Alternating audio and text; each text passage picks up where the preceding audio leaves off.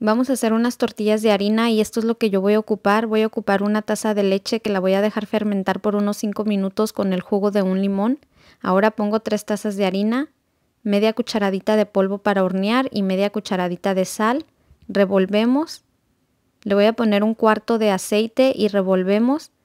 Aquí ya pasaron los 5 minutos, le voy a poner la leche y ya nada más así sin ponerle agua voy a comenzar a ir amasando. Así nos va a quedar la masa. Voy a comenzar a ir haciendo las bolitas. Esto ya va a ser del tamaño que ustedes gusten sus tortillas.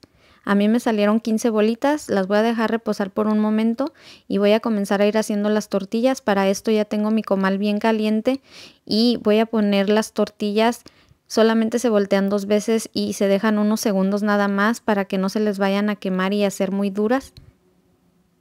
A mí no me quedan muy, muy derechitas las tortillas, pero igualmente quedan bien suavecitas y bien buenas y así quedaron.